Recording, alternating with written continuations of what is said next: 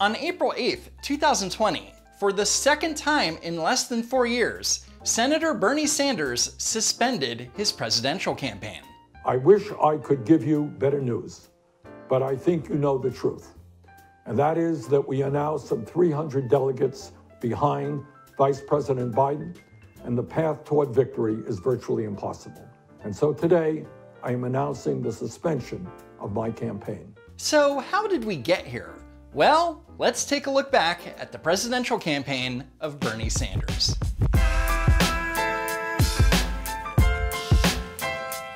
All the way back in April 2015, Senator Bernie Sanders announced his run for the presidency. I am proud to announce my candidacy for President of the United States of America. Bernie's progressive platform included free education, addressing global warming, putting an end to fracking, taxing the wealthy and corporations, and of course, Medicare for all. But despite large crowds at rallies and massive grassroots support, Sanders faced an uphill battle from his chief rival, former Secretary of State Hillary Clinton. Over 400 superdelegates had pledged their support for Clinton even before Sanders had entered the race. But at the same time, Sanders, a registered independent, was gaming the system by running as a Democrat so that he could go toe to toe with Clinton in the Democratic debates and more easily get his name on state ballots. And it turns out that the Democratic National Committee was secretly trying to undermine the Sanders campaign and had a bias towards Clinton. This was publicly revealed in a now infamous email leak in July 2016. The DNC uh, was not running a fair operation, uh, that they were supporting Secretary Clinton. So, what I suggested to be true six months ago turns out, in fact, to be true. I'm not shocked, but I am disappointed. And by this point, Bernie had already endorsed Hillary Clinton and couldn't do a damn thing about it. And this angered Bernie supporters, who felt that Hillary and the DNC stole the nomination. In turn, many of them didn't turn out for the general election. Not only that, but in a survey of 50,000 people conducted by the Cooperative Congressional Election Study at Harvard University, 12% of people that voted for Bernie Sanders in the primaries voted for Donald Trump in the general election. So Sanders split the Democratic Party and helped get Donald Trump elected. Thank you for your service, Senator. Cut to February 2019 when Bernie Sanders made an important announcement. Hi, I'm Bernie Sanders. Hi, Bernie. I'm running for president. Well, it's Groundhog Day. Again? Our campaign is about transforming our country and creating a government based on the principles of economic, social, racial, and environmental justice. Except that most people care about keeping their jobs and low taxes. Our campaign is about redoubling our efforts to end racism, sexism, homophobia, religious bigotry, and all forms of discrimination. But you can't promise to end those things. What's his plan? To establish the Department of Social Justice? Also, when it comes to the most important issues the Democrats care about, racism and sexism rank very low. The most important issue? Beating President Trump in November. We are running against a president who is a pathological liar, a fraud, a racist, a sexist, a xenophobe, and someone who is undermining American democracy as he leads us in an authoritarian direction. Damn, I just need one more for Orange Man Bad Bingo. Our campaign is not only about defeating Donald Trump, the most dangerous president in modern American history. Bingo! Bingo! I got bingo! Bingo! Now, if you're a Democrat, you don't need to be reminded how much you hate Trump. But Bernie made sure to repeat this sentiment every single chance he had. We must and will defeat Trump, the most dangerous president in the history of this country. Together, we are going to defeat the most dangerous president in the modern history of this country. The most dangerous president in the modern history of this country. The most dangerous president in the history of our country. Together, we are going to defeat Donald Trump, the most dangerous president in the modern history of our country. And that's all well and good, but first, Bernie needed to defeat his fellow Democratic candidates, and in total, there were a staggering 28 of them. And unlike 2016, where he was a progressive insurgent fighting against an establishment corporate Democrat, in 2020 there were several candidates all trying to steal Bernie's progressive thunder, including Julian Castro. Just because a woman, or let's also not forget, someone in the trans community, a trans female, uh, is poor, doesn't mean they shouldn't have the right to exercise that right to choose. Beto O'Rourke. Necesitamos incluir cada persona en el éxito de esta economía. Cada votar, ca cada votante necesitamos. And Senator Elizabeth Warren, who co opted the majority of Bernie's platform. Both Sanders and Warren campaigned on wealth inequality, Wall Street reform, a Green New Deal, campaign finance reform, free public college tuition, the elimination of existing student debt, and Medicare for All plans that would eliminate all private insurance. But with Warren parroting most of Bernie's agenda, this saturated Sanders' message during the first few debates and made him less unique. After the first debate in June, Warren's Real Clear Politics polling average was neck and neck with Sanders. Warren gained traction as the debates went on, and by September, she had pulled ahead of Sanders, leaving him in third place.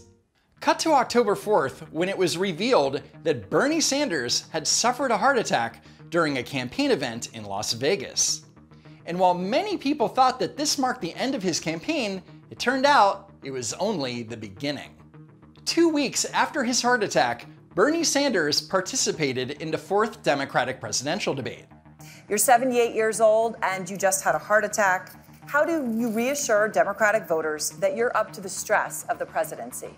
Well, uh, let me invite you all to a major rally we're having in Queens, New York, BernieSanders.com.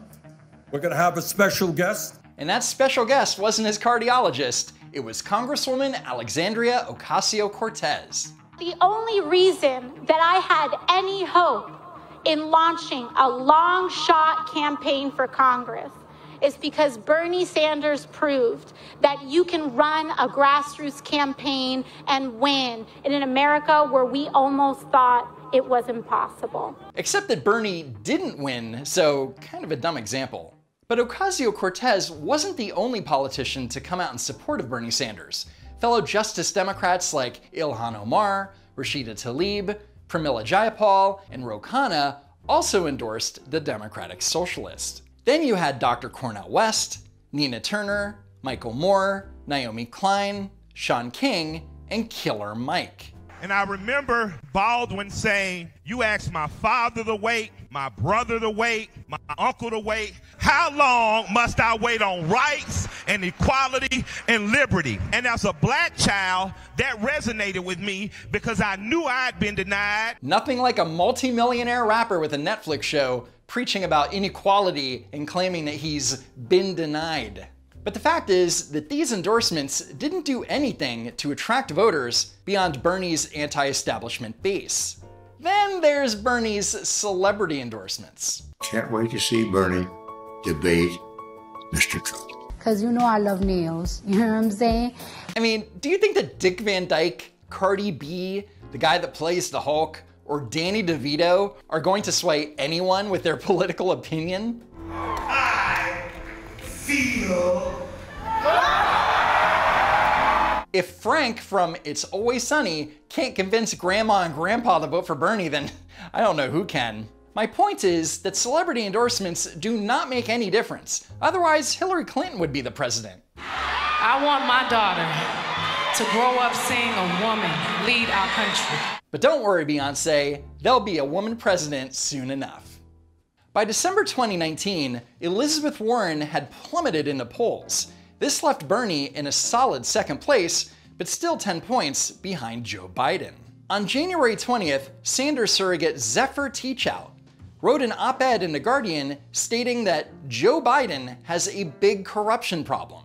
Middle class Joe has perfected the art of taking big contributions then representing his corporate donors at the cost of middle and working class Americans. Teachout didn't say anything wrong per se, because people have been talking about Biden's relationship with credit card issuers like MBNA for over 20 years. But instead of calling Joe out, Sanders disavowed what Teachout said. Joe and I have strong disagreements on a number of issues, and we'll argue those disagreements out. Uh, but it is absolutely not my view that Joe is, is corrupt in any way. Uh, and I'm sorry that that uh, op ed appeared to me. But this contradicts what he said about Biden back in the December debate. Now, there's a real competition going on up here. My good friend Joe, and he is a good friend, he's received contributions from 44 billionaires. So in December, Sanders implied that taking contributions from billionaires is corruption. But in January, said with absolute certainty that Joe Biden is not corrupt. But then in February, he called out Mayor Pete and Joe again for taking money from billionaires. I will tell you, Pete, what the American people want, and Joe, what the American people want. They don't want candidates to be running to billionaires for huge amounts of funding. Right, let's let's Pete, clear this minute. up once and for all. Pete Now, has this, gotten uh, you, funding you've got people from believing over 50 that is false. billionaires. Um, this this Joe, needs I to think, has cleared up. gotten a little bit more. So they are either corrupt or they aren't. Make up your damn mind, Bernie. But Sanders himself isn't the squeaky clean champion of the working class as you might think. Take, for example, Our Revolution, a political action organization that Sanders launched in 2016. CNN's Jake Tapper questioned Sanders about it on State of the Nation. I want to ask you a nonprofit organization that you launched, Our Revolution, has been promoting you. Uh, it is under the tax code, it can accept unlimited money. It's not required to disclose its top donors. My response to to that is I don't want, I, I, I do not believe that any group, Our Revolution or anybody else, should be raising money from wealthy people. And I'm not asking for their help. They legally can do what they want to do because you have a corrupt political system. Don't hate the player, hate the game. So we are independent of Our Revolution, all these other groups. They are legally able to do what they want. But that's not true, as Our Revolution's former president Nina Turner is now a national co chair on Bernie's campaign. So, not quite as independent as Bernie claims. If he wanted to stop it, he could stop it. So my message to all of the candidates, let's end all of that stuff right now. You want to do it today? Let's do it today. So his excuse is, we'll keep doing it because everyone else does it. And that means that Bernie is a gigantic hypocrite. Who knew? On January 13th, sources close to Senator Elizabeth Warren leaked to CNN that back in 2018, during a private conversation at dinner, Bernie Sanders allegedly told Warren that he did not believe a woman could win in 2020. And Warren released a statement doubling down on his claim. Bernie and I met for more than two hours in December 2018 to discuss the 2020 election.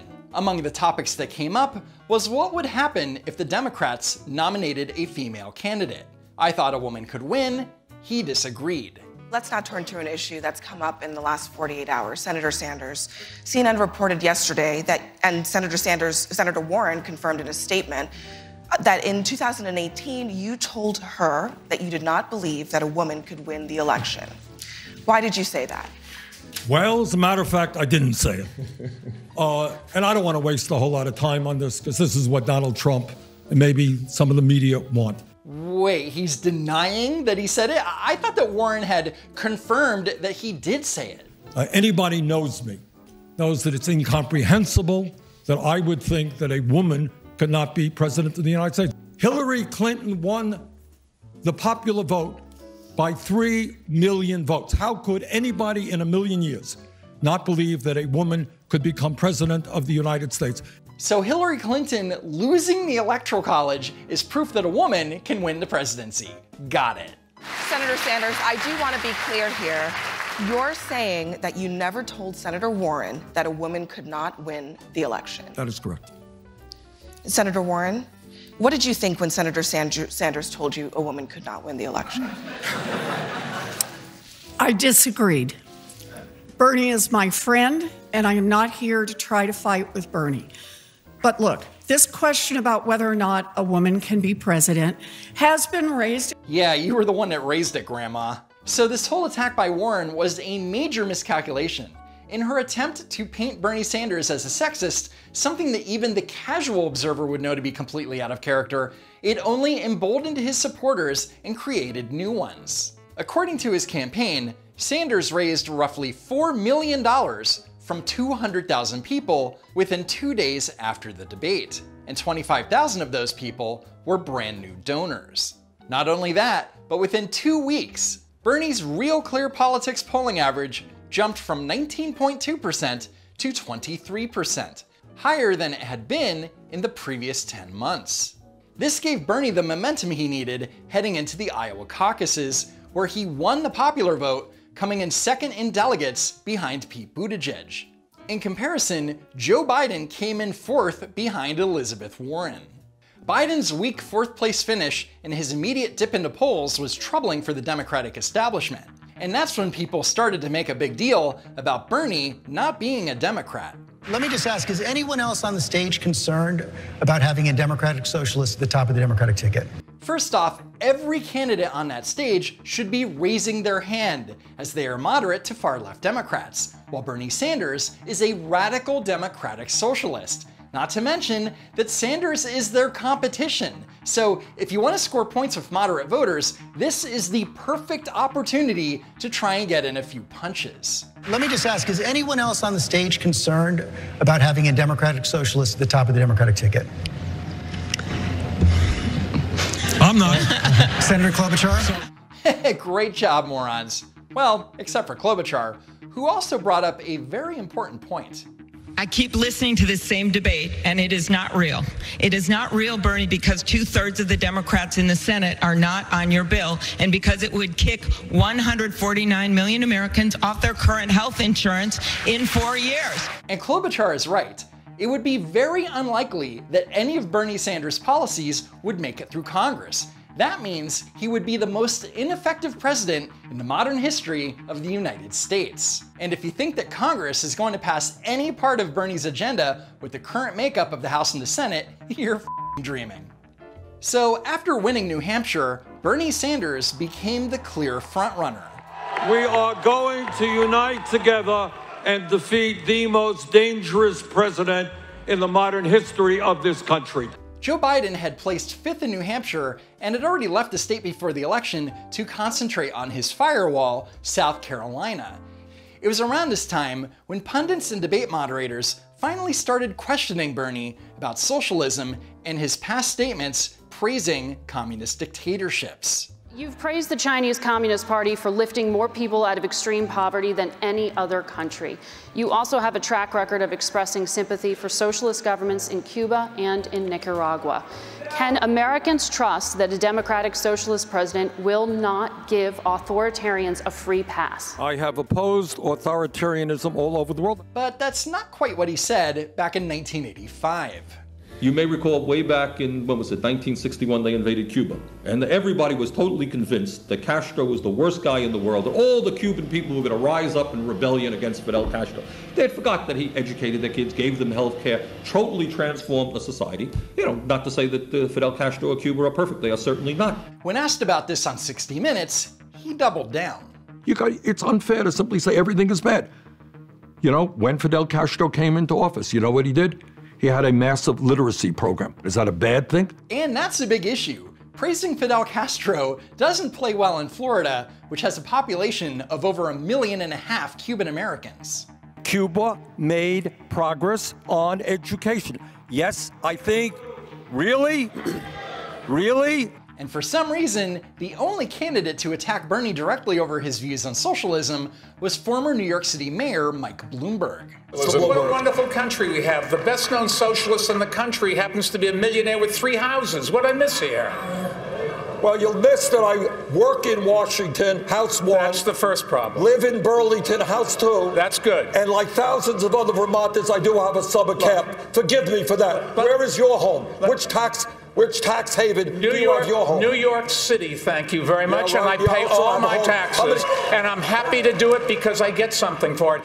Ooh, Bernie is so rattled that he called his summer home a summer camp. This election cycle would have been very different had Bloomberg entered earlier, as he was the only one who had the balls to go up against Bernie in this way.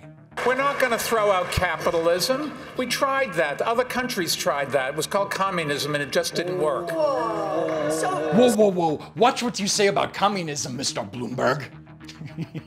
we have now won the Nevada caucus. After Bernie won Nevada, many pundits started writing Joe Biden off, but there was a problem with doing that.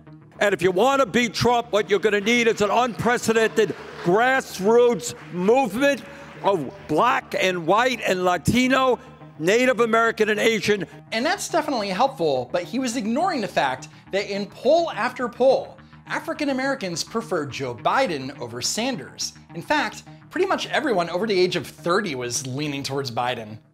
And on February 29th, that was proven in a big way when Joe Biden won the South Carolina primary with nearly 49% of the vote. Just days ago, the press and the pundits had declared this candidacy dead. Now, thanks to all of you, the heart of the Democratic Party, we just won and we've won big because of you. And on Super Tuesday, Biden won 11 out of 15 states.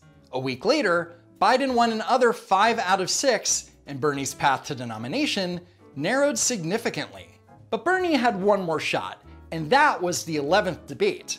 Steyer, Buttigieg, Klobuchar, Bloomberg, and Warren all suspended their campaigns. So after nine months of debates, with no less than six candidates on the stage at the same time, all Bernie needed to do was focus on getting his message out and show why he is the best Democrat for the job. I think it's imperative that we defeat Trump. He is the most dangerous president in the modern history of this country. Ugh, never mind. Now, let's take a moment to consider that Joe Biden is 77 years old and Bernie Sanders is 78. Normally, when a candidate announces their pick for vice president, it's not that important. But in this day and age, well, let's just say that whoever is chosen needs to be ready to become the president on day one.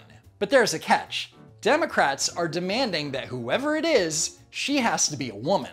I commit that I will, in fact, appoint a, I pick a woman to be vice president.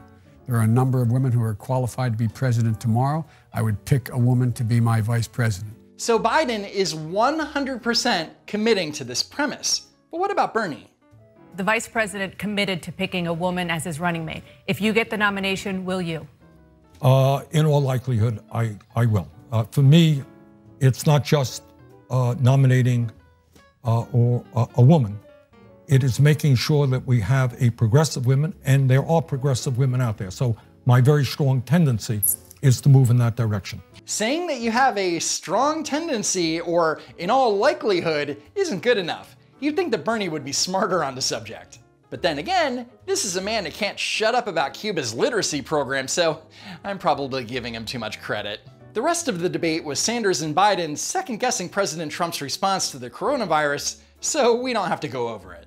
But I do want to remind you what Senator Sanders said about the subject in early March during a Fox News town hall.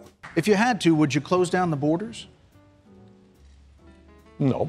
I mean, what you don't want to do right now, we have a president who has uh, propagated uh, xenophobic uh, anti-immigrant sentiment from before he was elected. Isn't it interesting that a president who has been demagoguing and demonizing immigrants, the first thing that he could think about is closing down uh, the, the border. So if Bernie had won the presidency in 2016, he would not have closed the borders, and we might have millions of coronavirus cases. And that's great, because I, for one, would rather die of coronavirus than be called a racist. So on April 8th, Alone in one of his three houses, Bernie Sanders finally called it quits. We are now some 300 delegates behind Vice President Biden, and the path toward victory is virtually impossible. So while we are winning the ideological battle, and while we are winning the support of so many young people and working people throughout the country, I have concluded that this battle for the Democratic nomination will not be successful. If you were winning the ideological battle, you'd be winning the nomination. On a practical note, let me also say this. I will stay on the ballot in all remaining states and continue to gather delegates. While Vice President Biden will be the nominee, we must continue working to assemble as many delegates as possible at the Democratic Convention, where we will be able to exert significant influence over the party platform and other functions. So the plan was for Bernie Sanders to hold his delegates hostage all the way to the convention and encouraged his supporters to keep voting for him in upcoming primaries. But five days later, on April 13th, a day that shall live in infamy. So today I am asking all Americans, I'm asking every Democrat, I'm asking every independent, I'm asking a lot of Republicans to come together in this campaign to support your candidacy, oh. which I endorse. And just like that, Bernie caved. Way to go, you chump. I have been very pleased that your staff and my staff have been working together over the last several weeks uh, to coming up with a number of task forces. Uh, these are uh, task forces that will look at some of the most important issues facing this country. What are the task forces all about? it doesn't matter. Because if by some miracle Biden becomes president, he'll likely forget that this conversation about task forces ever took place.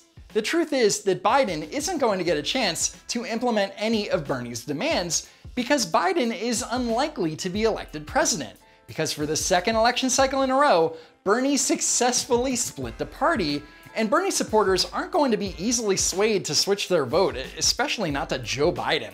Because while Bernie sold out to the Democratic establishment again, his hardcore supporters have a lot more integrity. And that's it for now. Thank you so much for watching and subscribing, and I hope to see you all next time.